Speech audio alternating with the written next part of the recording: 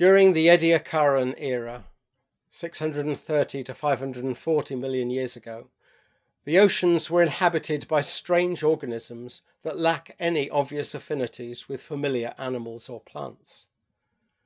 Within a relatively brief period, termed the Cambrian explosion, starting about 540 million years ago, these biota virtually disappeared and were replaced by animals belonging to modern phyla, including arthropods, sponges, comb jellies, marine worms, and chordates.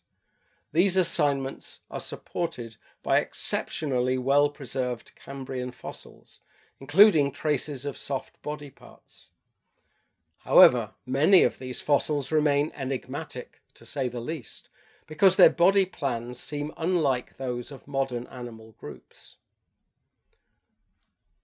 For Stephen Jay Gould, these anomalies represent novel body plans that did not survive the ravages of natural selection and hence became extinct. Provocatively, he claims that if the tape of evolution were rerun from the Cambrian, we might find ourselves today in a world dominated by a very different selection of organisms. Gould emphasizes the randomness of survival in the evolutionary lottery, scotching any notion of progress from lower to higher forms culminating in humans.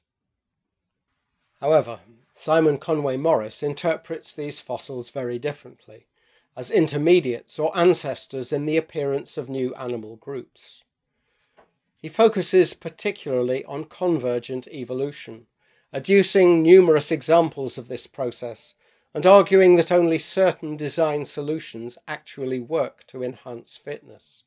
Hence, these adaptations recur repeatedly in independent lineages. The example of box camera eyes was cited earlier.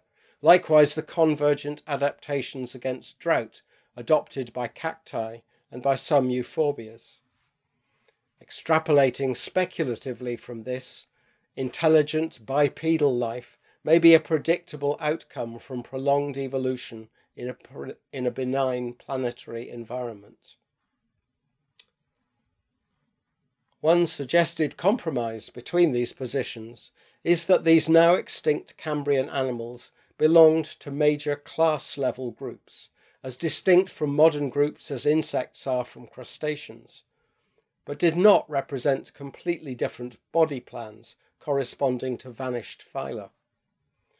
Other later class or order level extinctions include the arthropod trilobites, molluscan ammonites, and reptilian dinosaurs.